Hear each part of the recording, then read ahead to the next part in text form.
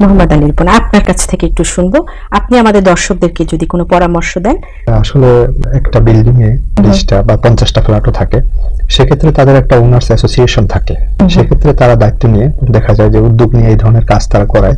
পুরো বিল্ডিং এর পুরো ফ্ল্যাটে তারপর তাদের বেসমেন্টে গ্রাউন্ড ফ্লোরে যেখানে হয়তো মশালা বা ডিম জমে থাকে বা ককরোচের জন্য যে তাদের যে সুয়ারেজের লাইনের থাকে যে সম্পৃক্ত থাকে এই সবগুলো তার একটা অ্যাসোসিয়েশনের মাধ্যমে করা হয়।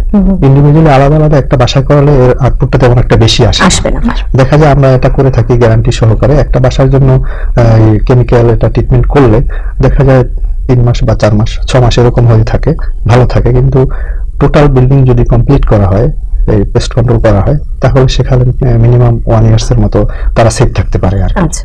অনেক ধন্যবাদ আমাদের সাথে থাকার জন্য।